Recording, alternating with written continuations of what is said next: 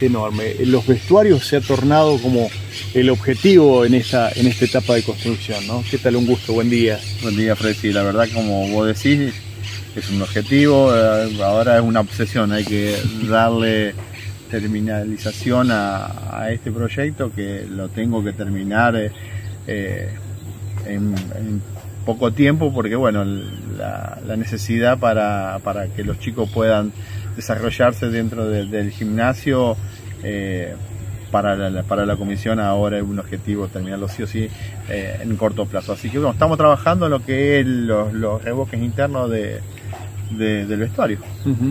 Eh, ¿Van a ser dos vestuarios?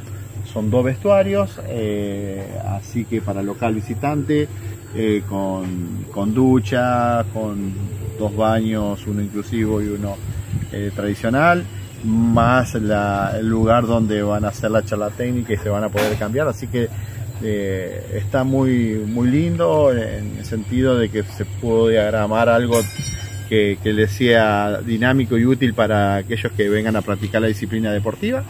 Y bueno, eh, de tener por primera vez un gimnasio dentro del pueblo para nosotros es una enorme alegría y aparte para que los chicos puedan desarrollarse en el mismo. Segundo, ¿qué dimensiones tiene este gimnasio? Porque ya está la mampostería, está el techado, eh, la, parte más gruesa está realizada. Sí, pero bueno, todavía no. También, gracias a Dios, hemos podido comprar la, parte del frente del gimnasio. Nos faltaría comprar los, dos portones, tanto el del frente como la parte de atrás.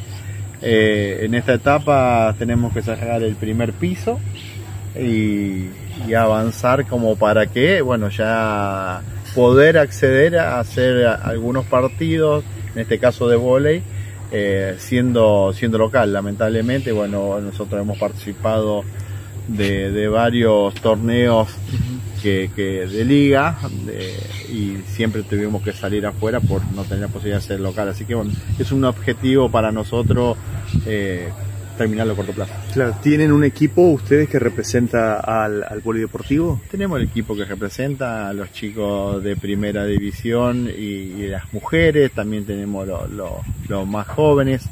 Eh, y asimismo también tenemos la escuelita de, fútbol que, que, que, la idea es que también todos compartan este mismo espacio para que bueno cuando se haga algún evento tenga la posibilidad de tener su vestuario. Daniel, ¿qué dimensiones tiene el, vestuario, cada uno de los vestuarios, y qué dimensiones tiene el, el Zoom propiamente dicho, el gimnasio?